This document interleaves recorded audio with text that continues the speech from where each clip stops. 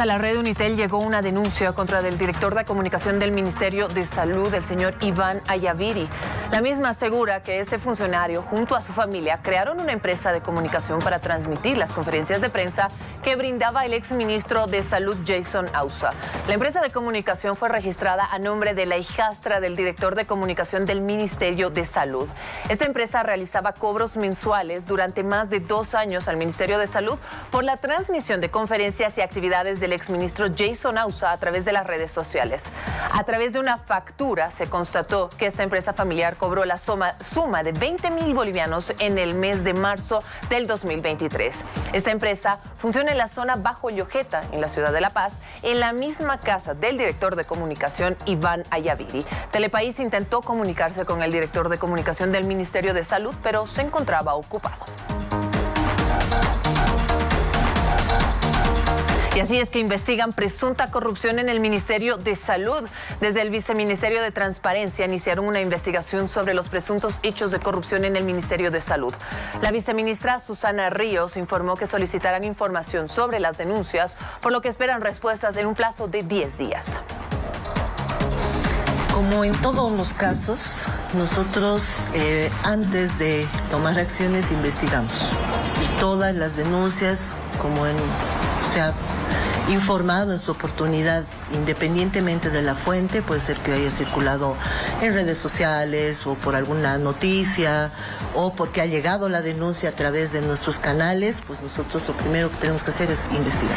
No solamente es que tenemos que hacer todas las gestiones para eh, luchar contra la corrupción, tenemos que eh, ser intolerables a la corrupción, porque ese es el mandato, no solamente se trata de hacer una lucha, eh, cuando ha ocurrido el hecho, se trata de tomar acciones concretas para evitar que estos hechos ocurran. ¿Ustedes creen que cambiar al ministro va a solucionar el problema? Va a empeorar, señor presidente.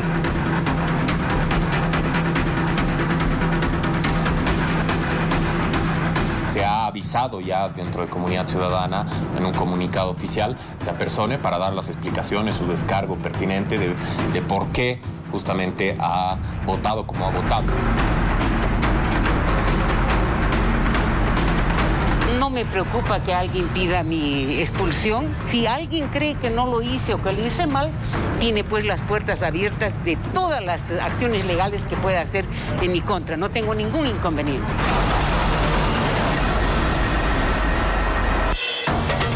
Mediante una carta, la Alianza Comunidad Ciudadana desvinculó a la senadora Silvia Salame. La misiva dice lo siguiente. Carta de Comunidad Ciudadana a la senadora Silvia Salame.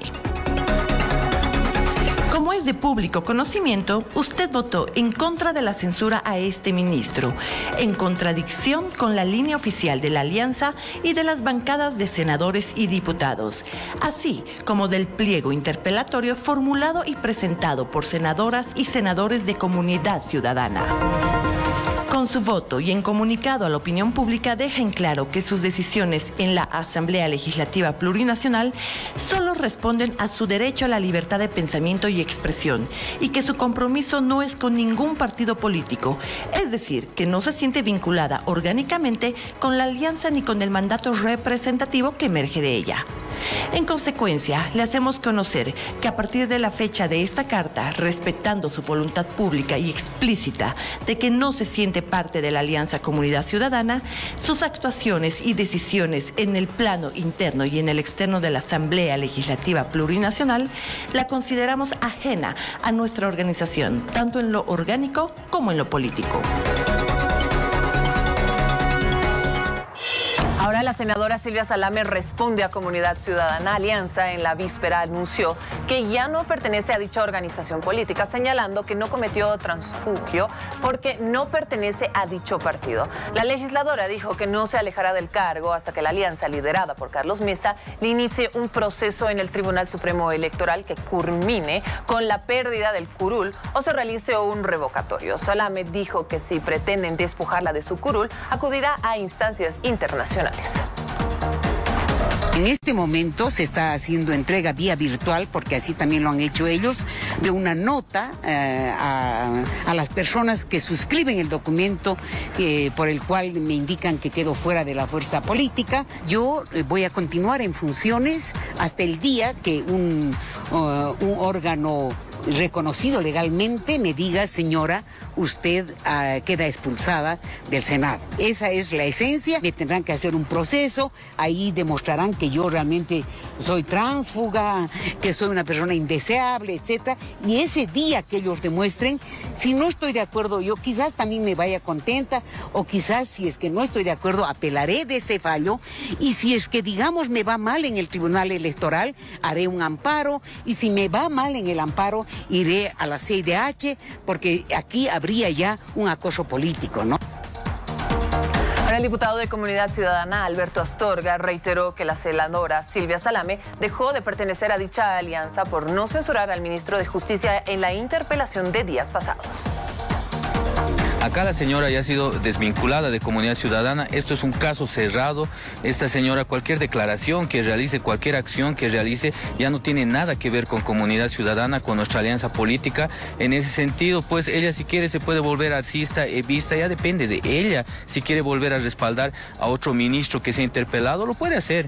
Pero sin duda ya nos representa comunidad ciudadana, no, no, no va a ser parte eh, de las reuniones, de ninguna actividad que realice nuestra alianza política. Y en ese sentido, pues esta señora ha quedado totalmente eh, desvinculada y cualquier decisión, cualquier declaración que la tome no lo vamos a tomar en cuenta. Esto es, y es un caso cerrado y su desvinculación ya ha sido realizado.